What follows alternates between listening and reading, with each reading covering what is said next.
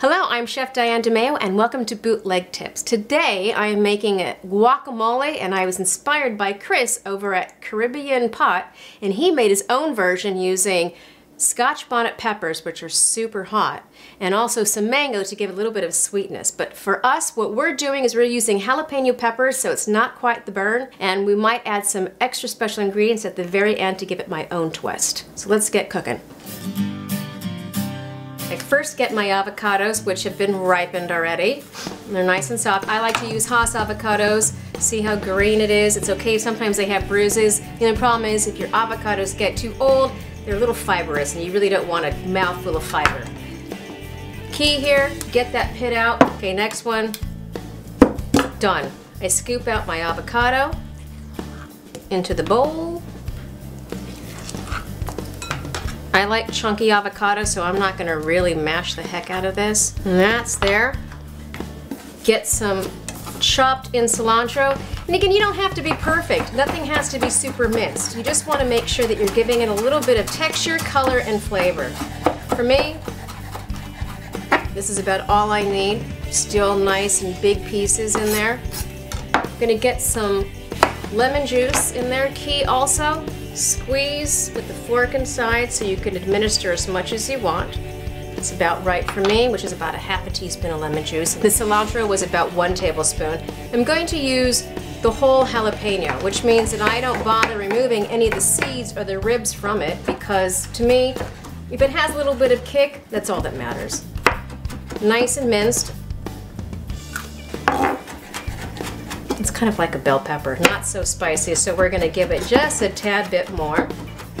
I'm gonna show you a trick that you can do with your tomato to remove the seeds extra quick, but make sure that you have a sharp knife when you do it, and make sure that you don't cut yourself. And believe it or not, a dull knife hurts more than a sharp knife when you do cut yourself. Tomato.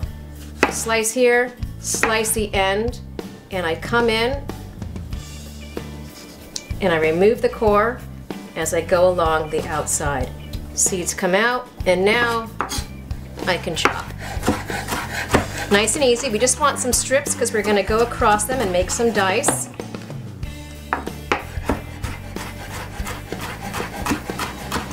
There it is.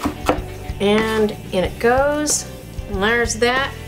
And now, for a little bit of my twist, my own way, and adding that secret ingredient, we're going to do some garlic.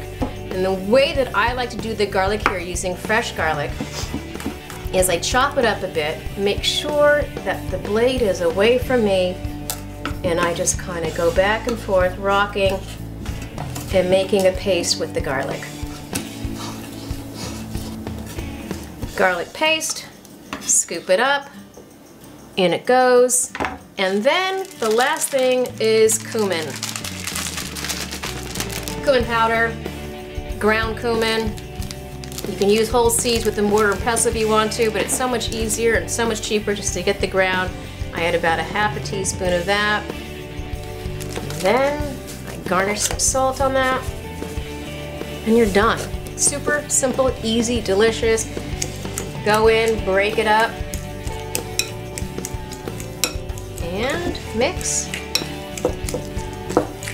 Pretty colors, we're good. That's it. Super easy, super simple, and super tasty guacamole, bootleg style, and that's it.